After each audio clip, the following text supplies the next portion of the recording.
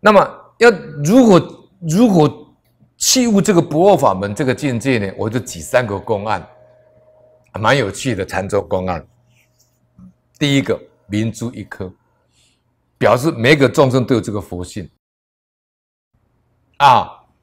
刚才我们提了这么多，佛法到最后就探讨这一念心性啊，恢复我们这个本心本性。那我们第一个公案就是跟本心本性，我们本质即止，本质清净，本无动摇，本不生灭，这个自信。第一个公案叫明珠一颗，哈哈，明珠一颗。这个在《法华经》里面呢，有一珠意，是《法华经》的七个比喻之一，佛陀区域之一。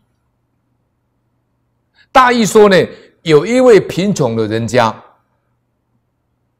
他到一个富有的亲戚家做客，这位亲戚呢，为了想帮助这个穷人呢，便趁他喝醉酒的时候，将一颗宝珠缝在他的衣服里面，希望他借此改变生活。啊！但是经过数年之后，两人再相遇，富有的亲戚呢，见到穷人呐，穷人的这个亲戚呢，见到这个穷人的亲戚啊。他依然困苦落魄，便惊奇的问这个穷人呢：“他说，为何红在衣服中那个宝珠没有改善你的生活呢？”那个穷人听了以后才恍然大悟，原来衣服里面还有一颗缝在里面的明珠。原来自己身怀宝珠却不知道，便将宝珠取出改善生活，这什么意思？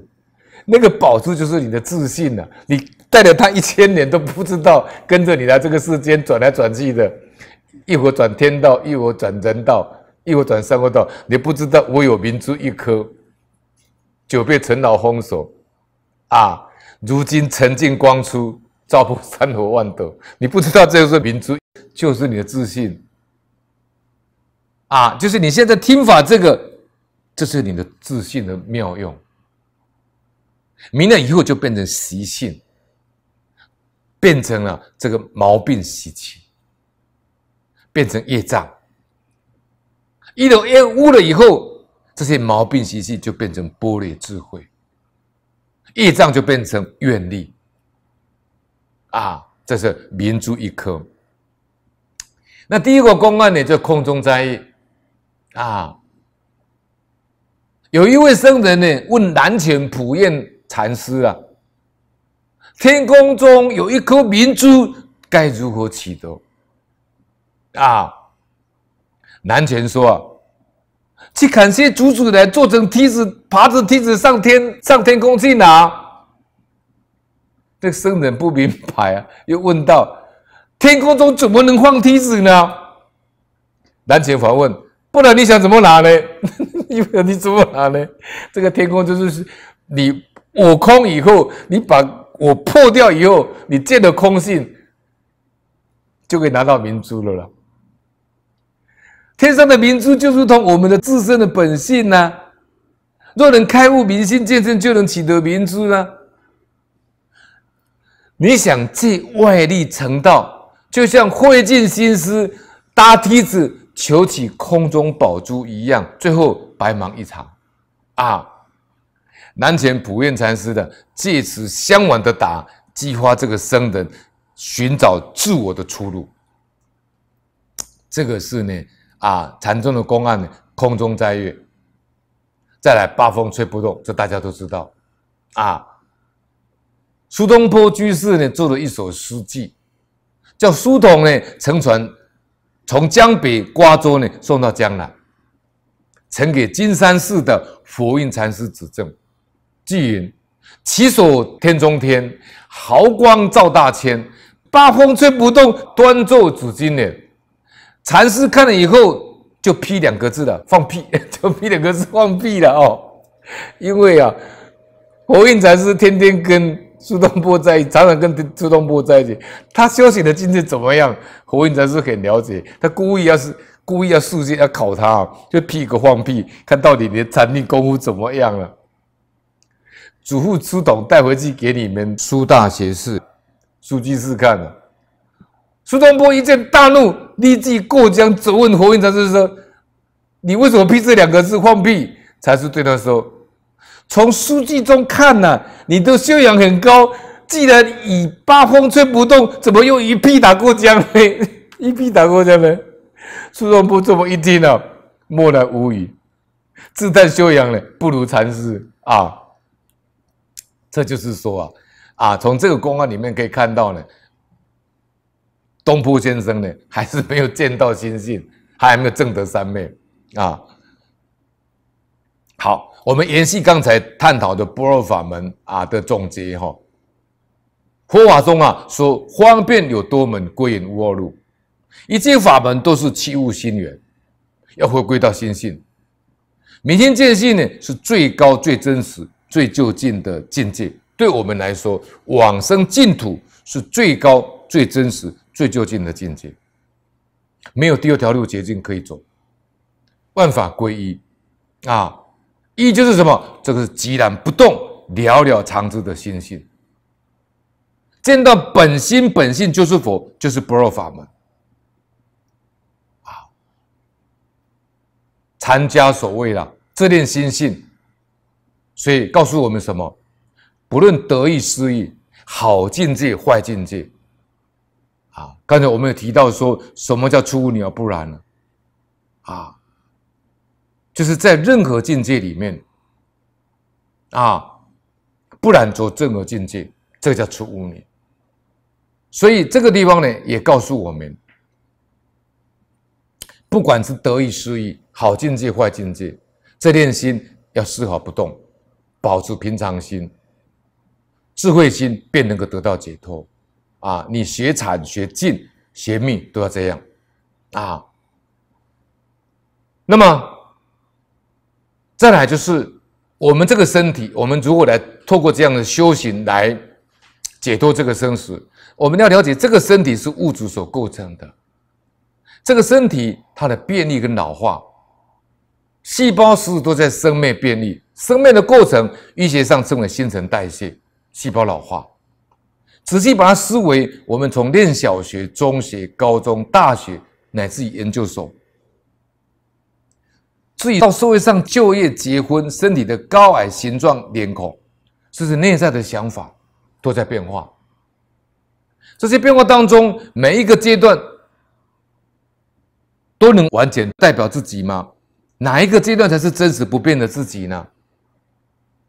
更何况，身体会坏掉、灭掉。坏掉、坏灭以后，身体不存在了，自己又到哪里去了呢？所以由此可知呢，身体只是暂时假合的物质，唯有这念心性才是真实的。为何这念心性才是真实的呢？想想看，小时候我们能听的心，就像那个波斯匿王一样，佛陀问他几岁见黄口。他说他三岁见孔苦，十三岁也看过，那今年六十二岁了，跟佛陀在楞严会上对话说是六十二岁啊。佛陀说：“你三岁见恒河，跟六十二岁见恒河有什么不同呢？”婆娑尼说：“没有不同啊。”佛陀说：“对呀，见性没有生死啊，那个见性都是不生不灭、不垢不净、不增不减。明白这些道理，我们便能够体悟心的不生灭性。”那个不生灭性，就是我们的见闻觉知，就是我们的灵性。我们这个身体，我们这个年纪，我们这个相貌会有生灭，但是我们的心性不生灭。这念心是我们的真生命，认识这念心，才知道生命是无穷无尽，这才叫无量光、无量寿。我们去追求这个无量光、无量寿，没有穷尽的生命，那才是我们要的慧命，这才是这一念心它的归依处。你了解这个佛心，这一念佛心是真正我们生命的无量寿、无量光，它记住无量智慧、无量德能、无量的神通，它就是我们的摩尼宝珠，人人都有，不需要外求。人人都有，那么现在是四大假合这个形体啊，一般人都误为实有，所以执着房屋啦，执着银行存款啦，执着田地啦，执着名利啦，执着六亲见识。这是这些妄想执着跟情执呢，沉浸呢，蒙蔽了你的心性，让你的清净心不能现前。所以你弃悟了这件心以后，从烦恼中解脱出来，从烦恼中解脱出来，体悟到清净自信，便是禅宗所谓的本来面目。净土中讲的长吉光净土，教下讲的清净法身毗卢遮那佛。古德说啊，悟后起修方是真修啊，在水边林下保养圣胎，或在大众当中行利他的六度万恒，借势练心。静中养成，动中磨练。各位记得这句话：静中养成，动中磨练。动静闲忙不理当练。我们这样讲说：静中养成念佛。动中养成阿弥陀佛，静中养成阿弥陀佛，动静闲忙不理阿弥陀佛，就不理当念。从利他，我们去做义工，我们去修六度万通，从利他当中完成自利，时时保持保持，时时刻刻保持这念心，不起分别妄想，就是宝刃。